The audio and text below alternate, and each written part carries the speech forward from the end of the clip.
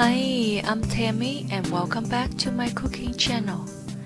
Today I will show you how to make Vietnamese crepe bánh xèo. This recipe will guarantee that you will have a very crispy Vietnamese crepe.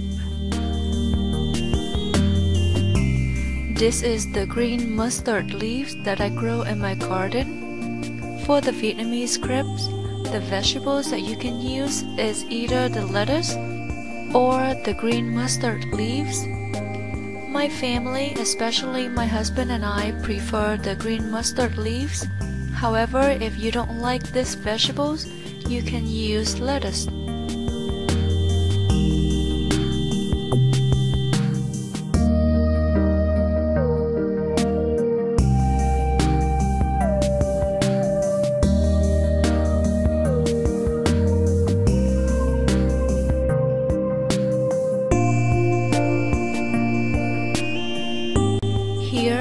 Have 2 pounds of shrimps with the shell on. I'm gonna boil the shrimps until they change color, until they become orange. It takes about 2 to 3 minutes. You can also stir fry the shrimps instead of boiling if you prefer. When the shrimps change color, pour them into a colander and let them drain. Then pour them into a bowl and set aside. Here I have 1 pound of pork. You can use a pork belly if you prefer. I'm gonna boil the pork for about 25 to 30 minutes depending on how thick the pork is. However, if you prefer stir frying instead of boiling, you can thinly slice them and then stir fry the pork. Now, I just thinly slice the pork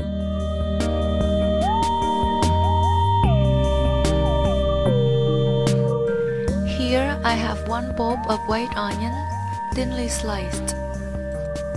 Now I'm gonna make the batter.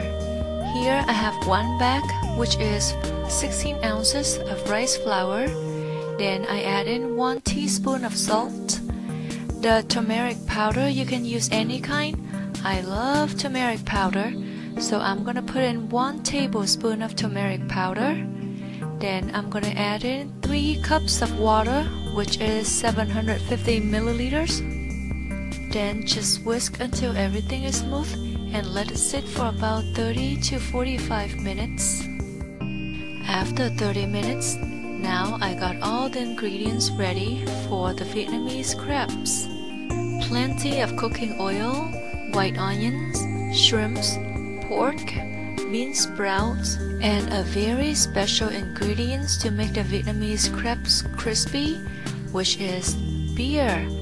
Now I add in about half of a can of beer and some finely chopped green onions, and the batter is now ready. Now we're gonna make the crepes. In a skillet, pour in about 1 tablespoon of cooking oil, then add a little bit of the white onions, then about 1 to 2 tablespoons of shrimps. The amount of the shrimps depending on how much of the shrimps you want on the crepes. Then some pork and stir fry just for a little bit. Then pour in the batter. Depending on how big your skillet is, the amount of the batter is varied. Mine is about half of a cup. Then pour in some bean sprouts. Now cover the lid and wait for a few minutes for the batter to be cooked.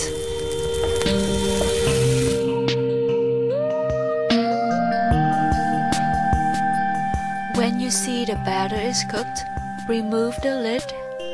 Now you add in a little bit more of cooking oil and let it pan fry like this for about 2 to 3 more minutes. Now you will see all the edges around of the crepes is very crispy. You see how it's so crispy that when I fold the crepes, it breaks.